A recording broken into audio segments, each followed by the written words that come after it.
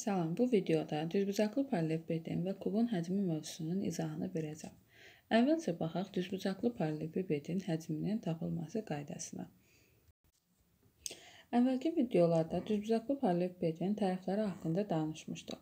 Deməli, düzbucaqlı paralelipipedin tərəfləri A onun uzunluğu, A uzunluq, A tərəfi uzunluq, B ilə işarə olunan tərəf düzbucaqlı paralelipipedin eni, S ilə işarə olan tərəf isə düzbucaqlı paralelipipedin hündürlüyü adlanır.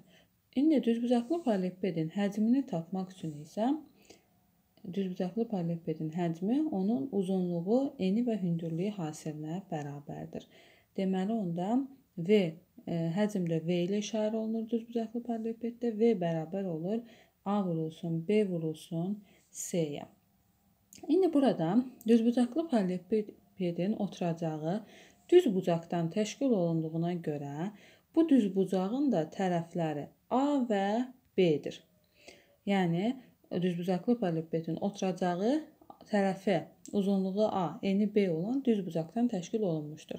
Biz də bilirik ki, düz bucağın sahəsi S bərabərdir A vurulsun B hasilinə, yəni eni vurulsun uzunluğuna bərabərdir.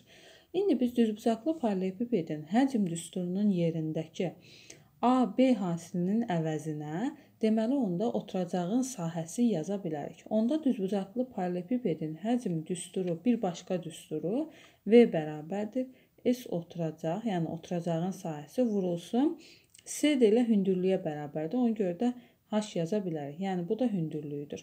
Deməli onda düzbucaqlı paralelipipedin düsturu, həcm düsturu həm V bərabərdir A vurulsun B vurulsun S həm də V bərabərdir S oturacaq vurulsun H, H şəklində yaza bilərik. İndi baxaq kubun həcm düsturunun tapılmasına. Deməli, e, kub nədir? Keçən videomuzda da danışmışdıq ki, düzbucaqlı paralelipipedin tərəfləri hər biri bir-birinə bərabər olarsa, yəni eni, uzunluğu və hündürlüyü bir-birinə bərabər olarsa, onda bu düzbucaqlı paralelipiped kub adlanır. Deməli onda kubun bütün tilləri bir-birinə bərabərdir. Və düzbucaqlı paralelipipedin də düsturu V bərabərdir A vurulsun B vurulsun C-dir. Kubda bu B və C də A, B və C bir-birinə bərabər olduğuna görə hər birinin əvəzində A yaza bilərik. Onda kubun həcm düsturu deməli A vurulsun A vurulsun A, yəni A kubuna bərabər olur. Beləliklə kubun həcm düsturu V bərabərdir A kubudur.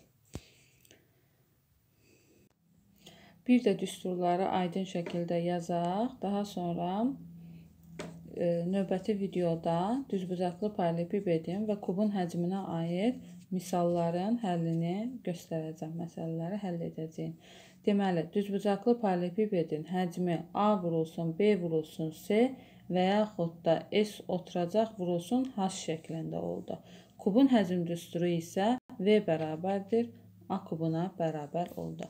Bu videomuzda bu qədər. Növbəti videomuzda düzbucaqlı fəaliyyət və kuba aid məsələlərin, kubun həcminə aid məsələlərin həllini göstərəcəyəm.